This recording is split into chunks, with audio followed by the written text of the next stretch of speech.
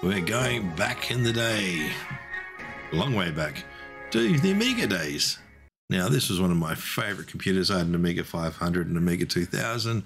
I used to play It Came from the Desert, It Came from the Desert 2, Silkworm 4, and Wings. Now, Wings was probably the one I spent most of the time on. The graphics looked blocky, they looked crappy, the sound was amazing, and you couldn't get off of it. Now, look what they've done to it. This game's been out for a while on Steam now, and you grab it special at a decent price, and even if you pay full price for it, it's worth every cent. A lot of the remasters they do are just garbage. We won't talk about Microprose with the B17, how they made it look pretty and destroyed the game. But as you see by this one, there's your old Amiga graphics there. I love it. And look what they've done. The playability is the same, the graphics are modern day. I'm about to die as you can tell. And all the missions are there. The missions are random, you don't know when or what's going to be next. Ah, crap. And I just went head on into a plane. And as the ground gets closer, splat. A nice little pretty fire. But now they give you a wreath as they fly over your tomb, which was nice.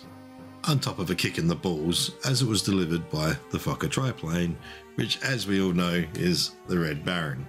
So you get that little bit of honour. I actually went out and bought Richthofen and Brown because of this game. Again, just recently, in the last 24 hours, because it just made me want to watch it. But the bonus is you get to create a new pilot. Off you go again. Now this is your old bombing run on the uh, Mega graphics. And this is your normal flying again. Just to make you remember on how bad it really was and jerky and clunky compared to this.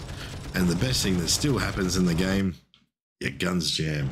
Worstest thing that can happen in the middle of a dogfight, your guns will jam up and you're stuffed.